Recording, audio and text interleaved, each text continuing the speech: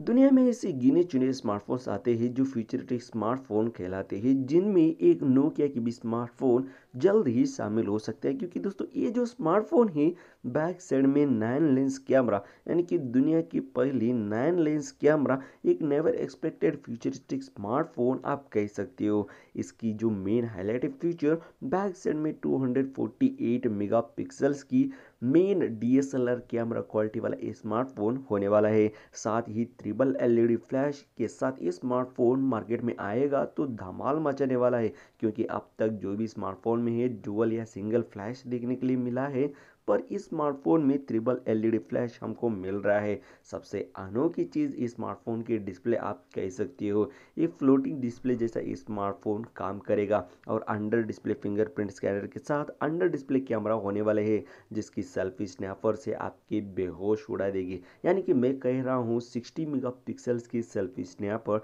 इस स्मार्टफ़ोन में मिल रहा है, जो गिने चुने स्मार्टफ़ोन में ऐसी कैमरा क्वालिटी मिलने वाला है। दोस्तों, अवेलेबिलिटी की अगर बात करें तो दो वेरिएंट के साथ ये स्मार्टफ़ोन आ सकता है। एक होगा एट जी बी रैम और एक होगा टेन जी बी रैम दोनों में भी वन टी बी तक इंटरनेट स्टोरेज एक्सपेक्ट किया जा सकता है।